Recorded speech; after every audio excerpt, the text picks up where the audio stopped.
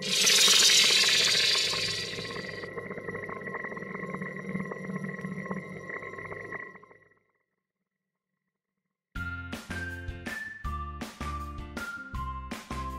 my name is Alejandro Serrano and I work uh, as a supply chain professor at the Zaragoza Logistics Center in Spain and I usually teach finance for supply chain management.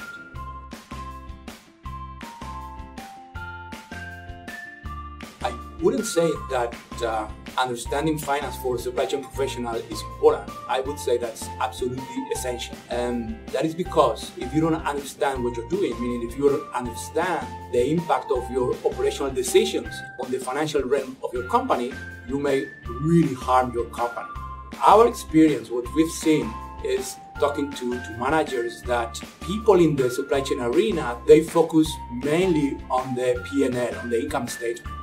But they are usually oblivious to the fact that the decisions affect the statement of cash flows, they affect the, the balance sheet, they affect the risk of the company, ultimately the value creation for, for shareholders.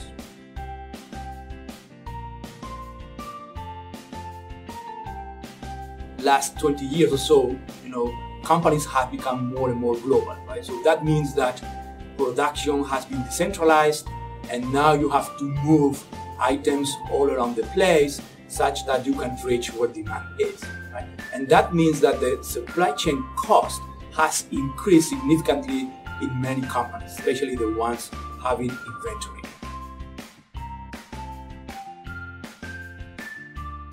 In the case of Zara, this company has always focused not on saving costs, meaning not on the P&L, but they have focused on reducing leftovers at the end of the season. Right? So, so the focus has been on the balance sheet. And by reducing the huge amount of leftovers, they are able to save huge amount of money. Right? And all in all, that pays off. So they have changed the paradigm of the industry, and now many competitors are trying to follow suit.